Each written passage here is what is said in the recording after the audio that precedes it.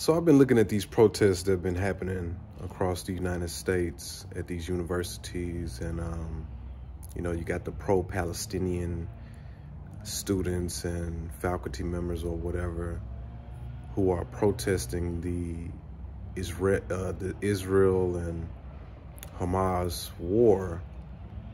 And they're really taking up for the Palestinians who are being killed by Israel, uh, you know, in the tens of thousands of numbers, you know I'm saying? Like, it's, it's like a slaughter. Um, and, you know, it's mainly because, you know, given the history of Israel and, and what they did before in the past, when they was fighting all these proxy uh, these proxy militants, uh, they were just bombing wherever they were. You know what I'm saying? You really can't tell who they are, um, except if you see someone with a gun. So you just bombing wherever you think they are. And these little proxy armies, man, they like to they like to hide out in the city. So they're hiding amongst the citizens. So you know, if if you get intelligence and and the intelligence says that there there are Hamas fighters in this hospital, I mean, bro, you you probably going to want to bomb the whole entire hospital, or or either you know send troops in to take over that location, and whoever you see with a gun, kill them, or you know, I, I think that I think that Israel is in a bad situation fighting a war like this because we was in the same situation, bro.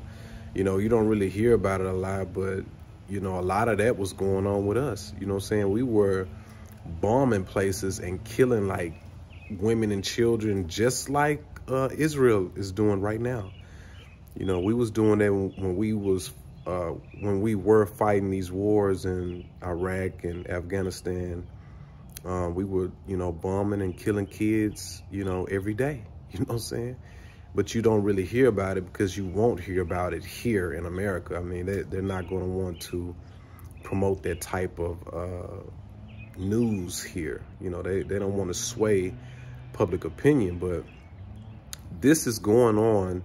There are people being killed in, there are Palestinians being killed in um, the Gaza Strip or whatever in that in that area in that region um, who are innocent. You know, what I'm saying they innocent. They they just citizens. I you know, I wouldn't say that all of all of them are innocent, but a majority of them are innocent, and they just they're just civilians and they're just being killed. You know what I'm saying? And and somebody has to take up for those in those people, that group of people. Somebody got to take up for them and that's what you see going on on these campuses, campuses, um, these university campuses around the United States right now. It's like, it's big news. It's always in the news. A different campus um, is in the news, you know, talking about, you know, the protesting that's going on on, on campus. And um, the Jews at these campuses are, you know, they're threatened by these pro-Palestinian protesters.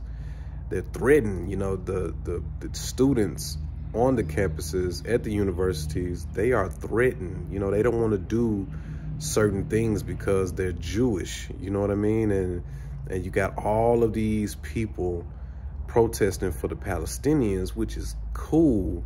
But at the same time, they are making these Jewish students feel uncomfortable. And um, and also, these Jewish students are being, um, they are being,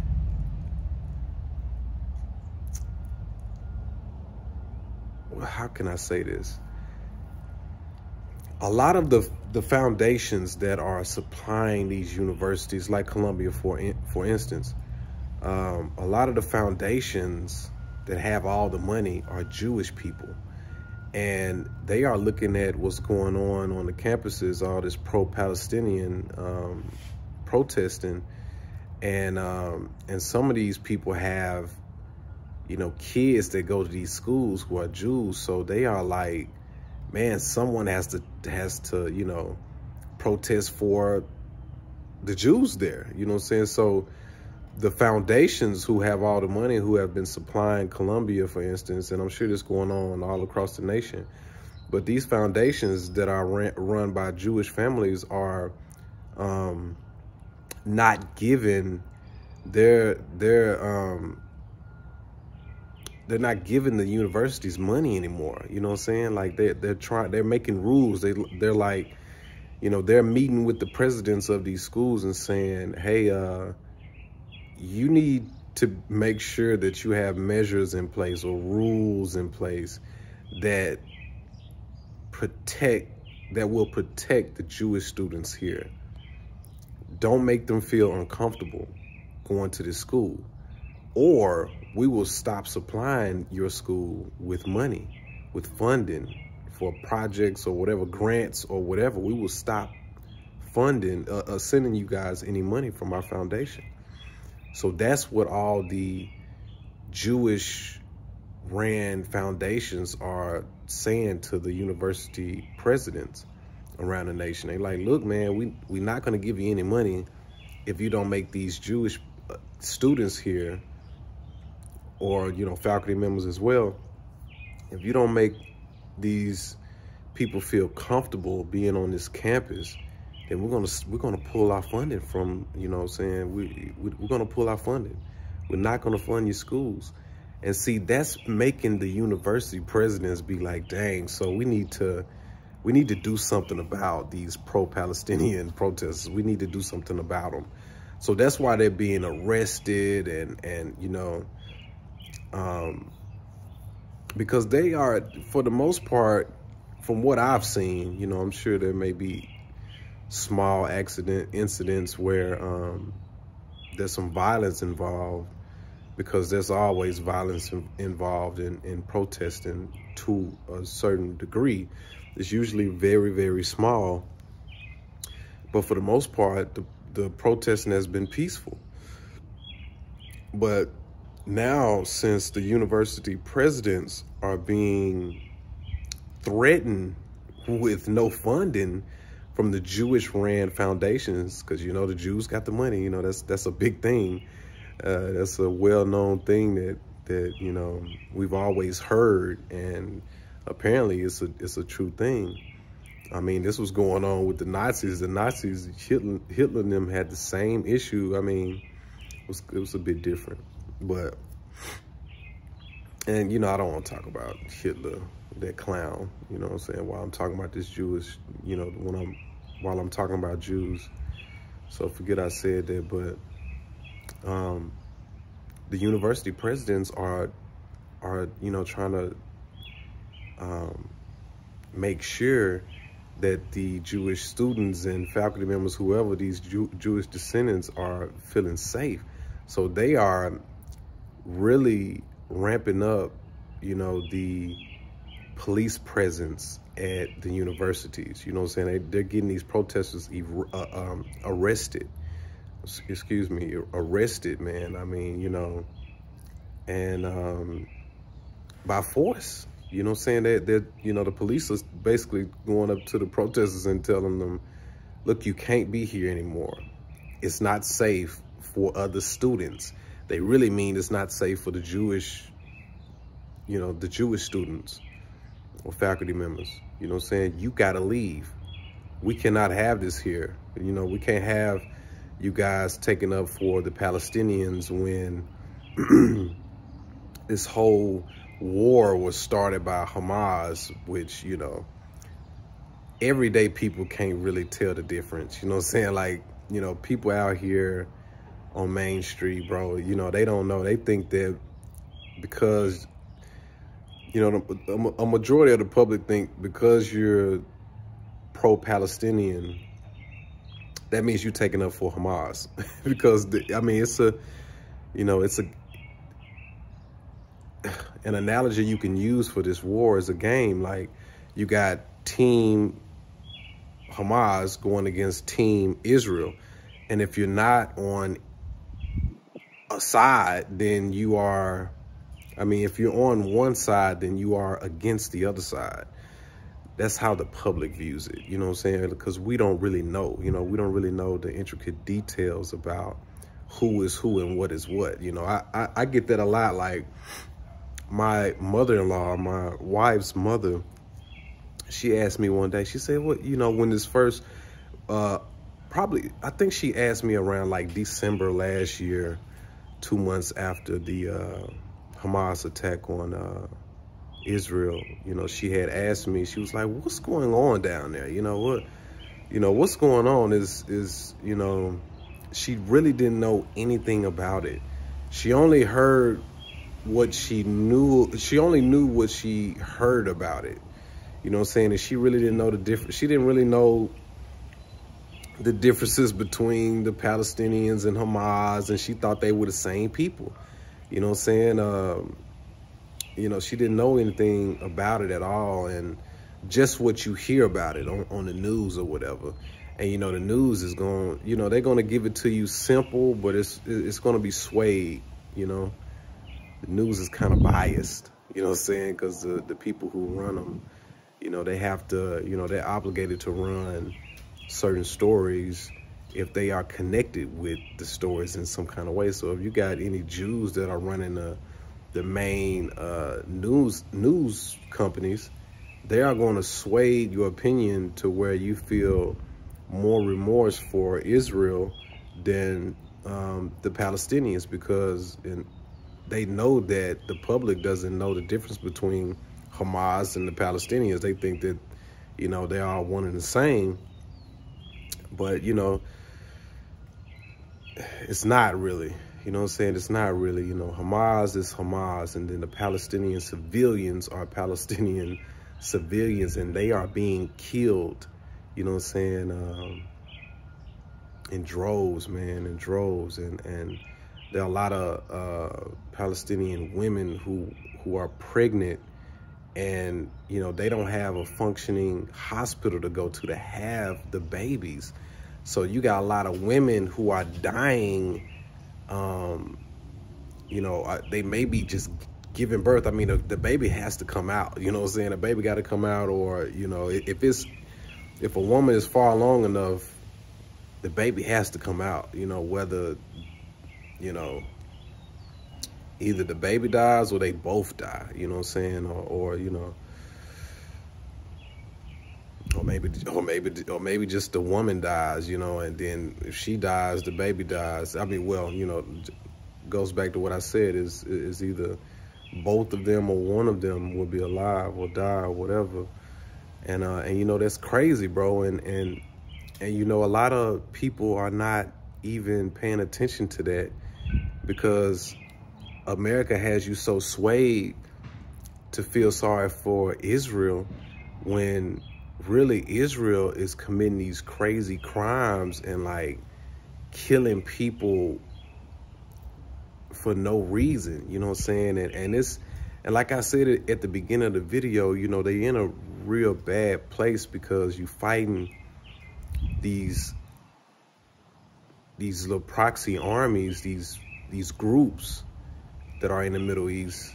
You fighting these groups that don't wear a uniform really. They really don't wear a uniform and you really can't distinguish them from the population, from the rest of the population. So it's like I said in the beginning, like you get intelligence that you know, you got some fighters over here, they're going to just send a bomb over there. And, and these places in the Middle East, man, they be densely populated, bro. Like, you know, wherever there's a city at, you know, it's mostly desert, but where they got the cities at, bro, it's densely populated, bro. And it's under underdeveloped, you know, they don't really have a lot of technological type of advances there, you know what I'm saying? So it's like a lot of people are like right next to each other. So, um, which is, you know, it's messed up, you know. So when, you know, so when you bomb and you, you when you drop a bomb, you killing like, you know, 10,000 people, you know, a thousand people, a thousand to 10,000 or more people, you know, per bomb. And, um, and it's getting to a point to where, you know, I saw that Biden had mentioned that he was going to stop sending guns and weapons or whatever to Israel if they um, get into another conflict with another region or, or, you know, or a group of people or whatever. I, I don't really remember what it, who it was, but you know, Biden was like, we're going to stop sending guns and ammunition to Israel if they keep doing what they're doing.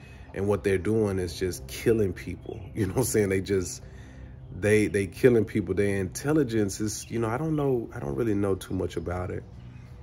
So I don't want to get too far into it, you know, why, I don't want to get into why they are killing a lot of civilians in this war. Um, it's, you know, it has to be the intelligence, you know what I'm saying? Like, you know, part of it, like I said, is, is, you know, you're fighting a war against people who don't wear a uniform. So it's hard to, to figure out who is who. And then your intelligence may not be that good neither. You know what I'm saying? I, I, I think I saw a headline that came out a few months ago about, you know, their intelligence. Like they need, like I think a, uh, the Biden administration was telling them like, bro, or, or the UN, maybe it was the UN, was telling them that your intelligence, man, y'all need better, more precise um, targets so you can limit the number of civilians that you guys are killing because you're killing too many people and uh, it was it was a problem. I think in that article it was saying there was a problem with their intelligence.